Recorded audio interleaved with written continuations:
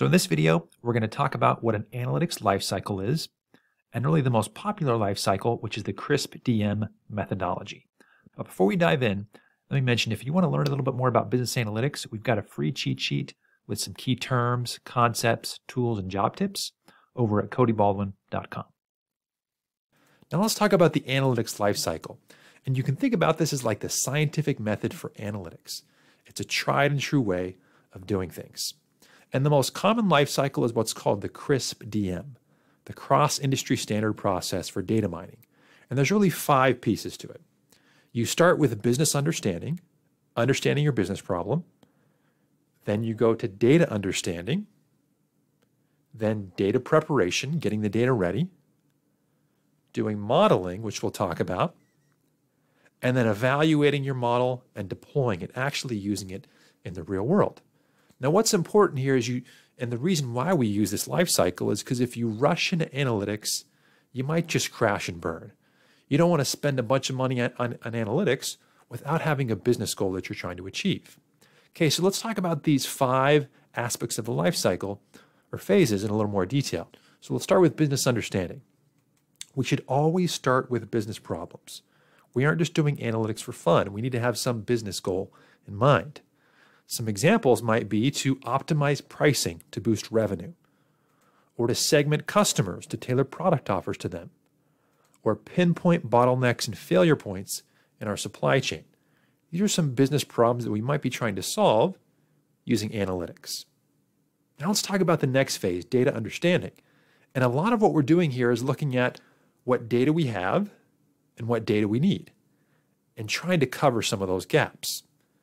And then when we get the data, we might ask questions like what's the availability of the data, the quality of it, the granularity, how deep or detailed does it go, what's the frequency of it, how often does it get updated, and so on.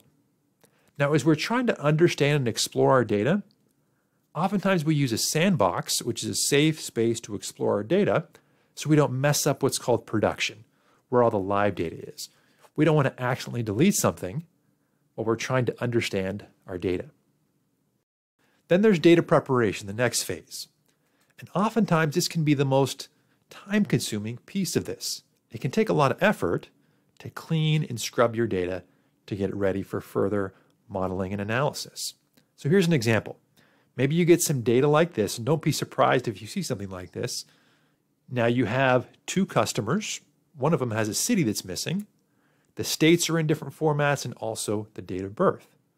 And so what you might have to do is do cleaning to get this in a good place in order to do the next step, to do your modeling.